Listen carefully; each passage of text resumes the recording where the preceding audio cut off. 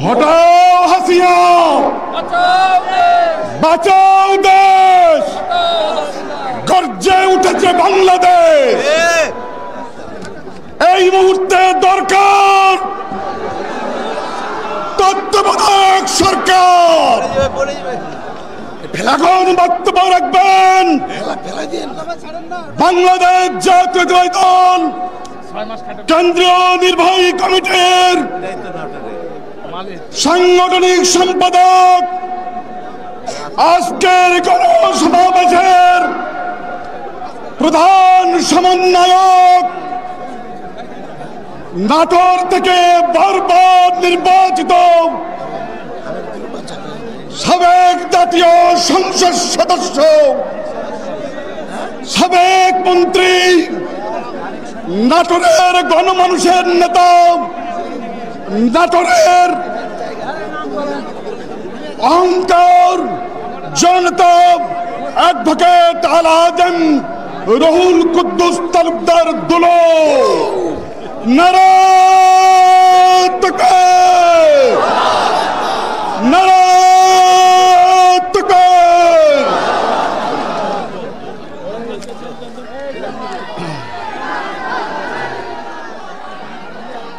বিসমিল এই দাঁড়াও। বিসমিল্লাহ রহমান রাহিম। এই, চুপ করো।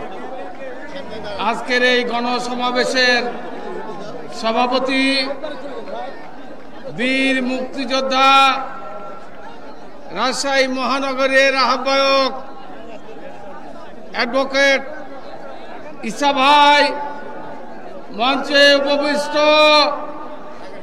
আজকের এই অনুষ্ঠানের প্রধান অতিথি এই উত্তর অঞ্চলের অহংকার, আমার শ্রদ্ধ প্রিয় নেতা, সাবেক মন্ত্রী, বিএনপির সংগ্রামী মহাসচিব, জনাব মির্জা ফখরুল ইসলাম আলমগীর, মঞ্চ উপবিষ্ট, আমাদের এই সমাবেশের প্রধান উপদেষ্টা স্থায়ী কমিটির অন্যতম সদস্য ইকবাল হাসান মাহমুদ টুকু সহ স্থায়ী কমিটির সদস্যবৃন্দ, মঞ্চে উপবিষ্ট জাতীয় নেতৃবৃন্দ এবং মঞ্চের সামনে উপস্থিত এই তিন দিন যাবত এই খোলা আকাশের নিচে এই এই পদ্মার ধারে ঈদগাহ মাঠে তিন দিন যাবৎ এই শীতের কষ্টের মধ্যে উপস্থিত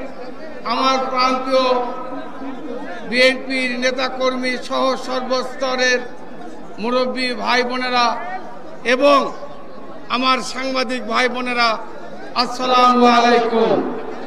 প্রিয় ভাইরা আমার, আমি বক্তৃতা দীর্ঘ, বক্তৃতা দেব না। আমি এই সমাবেশের প্রধান সমন্বয়ক।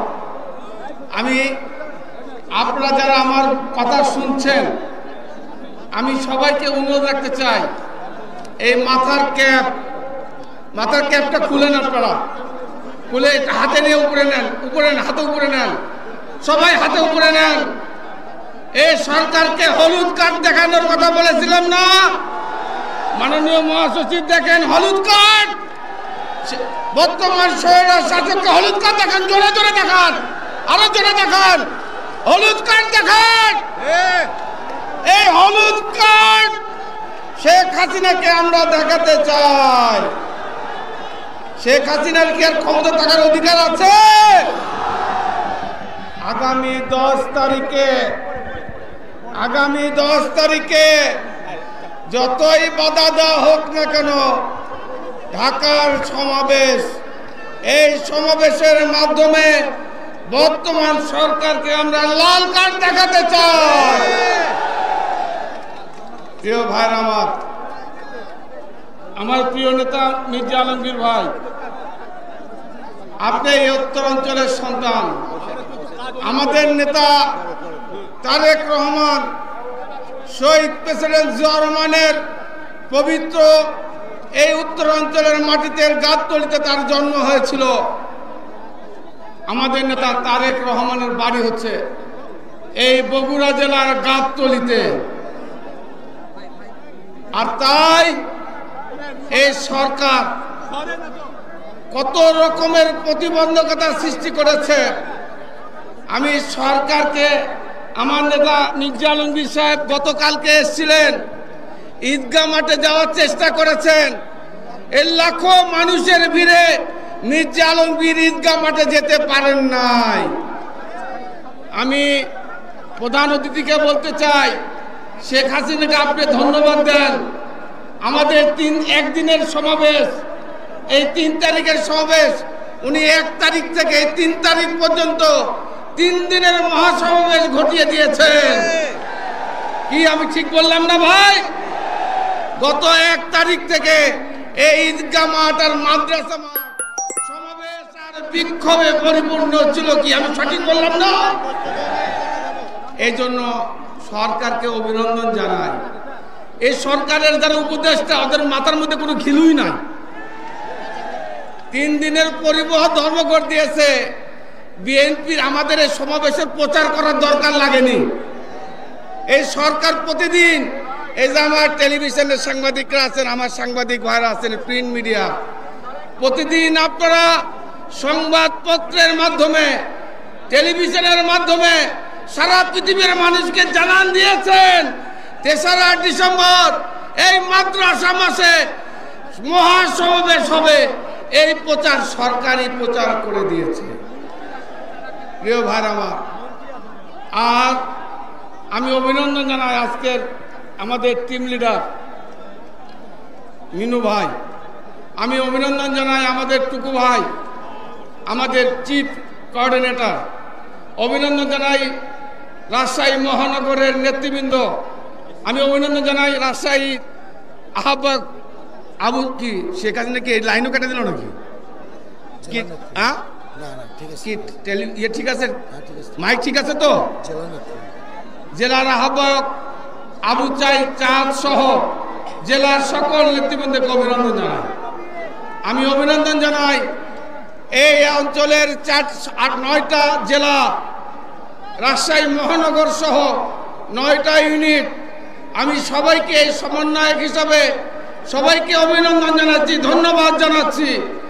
এই শীতের মধ্যে কষ্ট করে সেই সুদূর বগুড়া থেকে গত তিন দিন যাবত আমাদের বিএনপি সেক্রেটারি হেনা বাদশার নেত্রী সেই সুদূর বগুড়া থেকে আপনারা তিন দিন যাবত এই মাঠে অবস্থান করেছেন।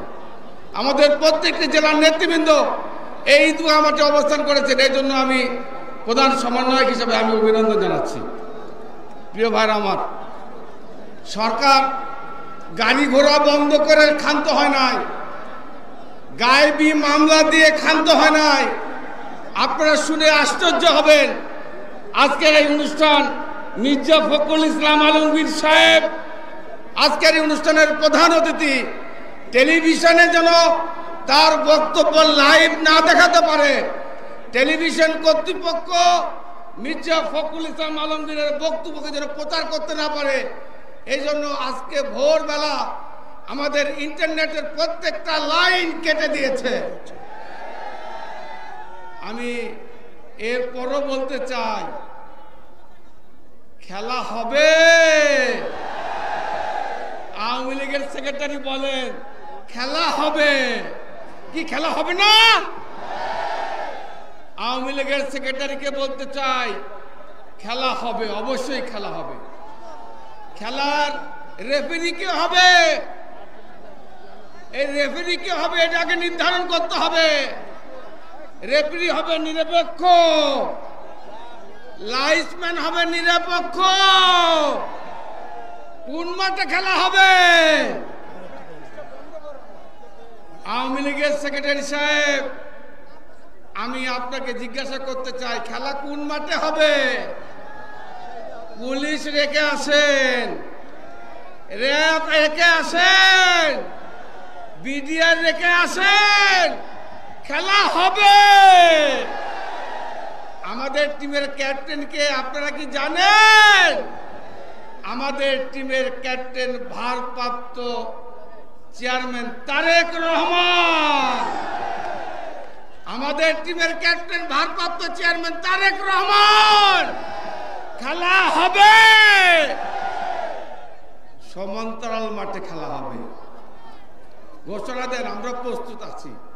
প্রিয় নেতৃবৃন্দ, আমি আর বক্তব্য দীর্ঘ করতে চাই না।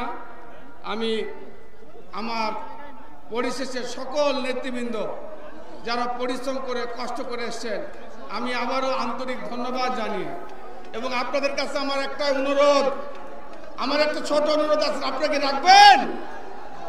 আমার মহাসচিব যখন বক্তব্য দেবেন, সবাই শান্তভাবে চুপচাপ বসে থাকবেন। কি ওয়াদা করলেন তো? দুই হাত ওয়াদা করলেন তো? সবাই অপেক্ষা করেন আমাদের মহাশ্রী পক্ষ। সবাইকে ধন্যবাদ। ইনশ- ইনশাল্লাহ আবার দেখা হবে। বাংলাদেশ জিন্দাবাদ, বাংলাদেশ জাতীয়তাবাদী দল জিন্দাবাদ, আমাদের নেতা তারেক রহমান জিন্দাবাদ, খালেদা জিয়া জিন্দাবাদ, শহীদ জিয়া অমর। আসসালামু আলাইকুম।